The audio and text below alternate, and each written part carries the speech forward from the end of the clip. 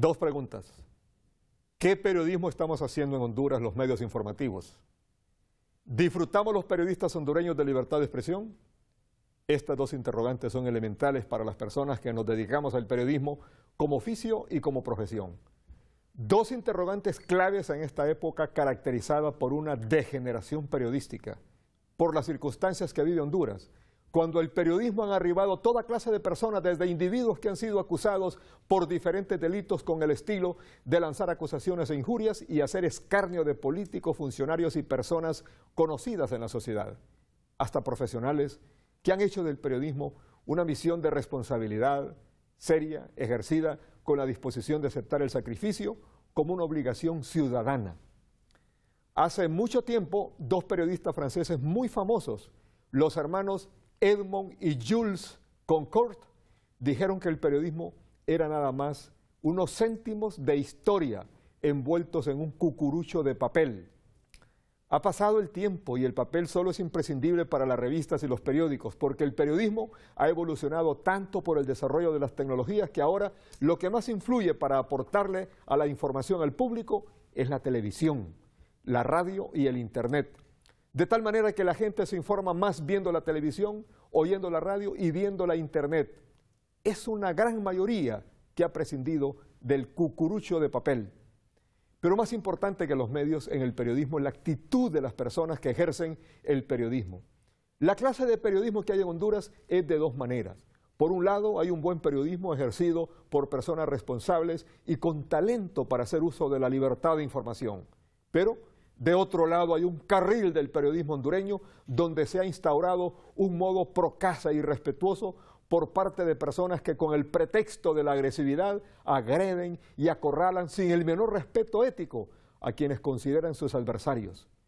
El periodista español Miguel Ángel Bastenier, cuando dictó una conferencia en Tegucigalpa hace algunos años, dijo que en periodismo ya no hay objetividad ni imparcialidad, que lo que debe hacer un buen periodismo es proporcionar al público todas las aristas de la información, para que sea el público el que decida con qué parte de la información se queda. Partiendo de esta tesis de Bastenier, el ejercicio de la libertad de expresión y de la libertad de información no se puede sustentar sin el respeto a la verdad y también el respeto a la dignidad de los ciudadanos. El periodismo hondureño ha desarrollado un contexto amarillo que transgrede los límites de las normas y de la buena educación hay un exceso del abuso en esa memes amarillista como el que hace pocos días tronó en un medio televisivo inventando la especie de un golpe de Estado.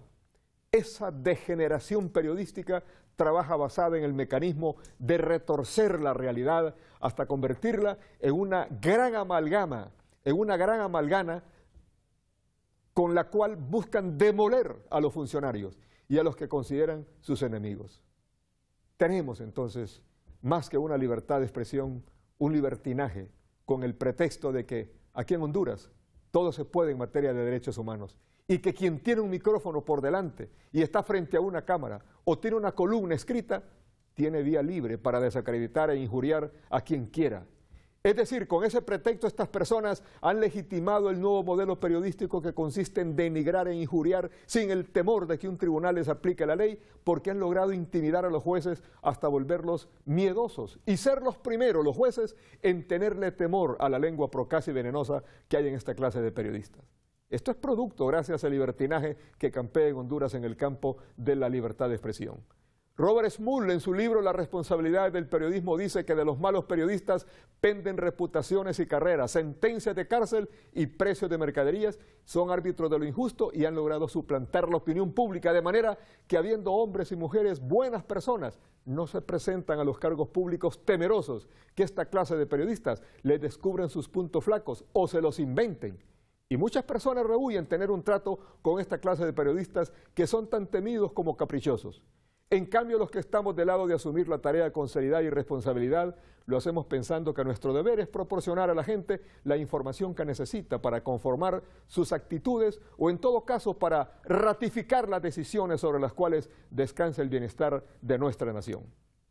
Preferimos no acogernos a las definiciones de periodismo porque hay tantas para designar el ejercicio de la profesión Personalmente me quedo con la definición que dio el maestro de periodistas, el periodista polaco Ryszard Kapuscinski, que sostiene que para ser buen periodista, ante todo, hay que ser una buena persona. De ahí podrán deducir ustedes que un malandrín podrá ser un periodista falsificado, pero jamás un malandrín podrá ser un buen periodista. Así son las cosas y así se las hemos contado hoy lunes, 25 de mayo del 2015. Buenas noches. We'll be right back.